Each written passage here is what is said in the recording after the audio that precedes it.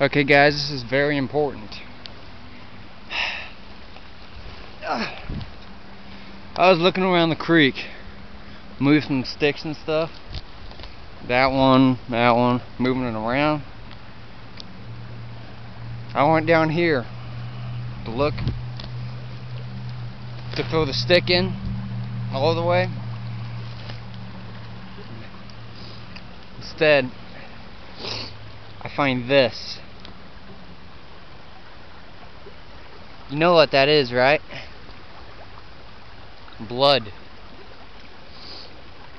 Someone's been here and did something.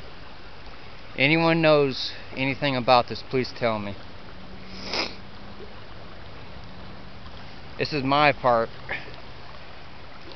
of the spot, and I'm a little concerned here. I got blood on twigs. That's not something I see every day.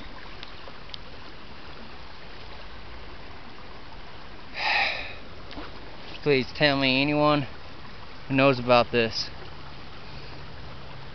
And we got blood right there. It's all scattered all over the place. It's either someone's been murdered here or something bad happened. It's over there too.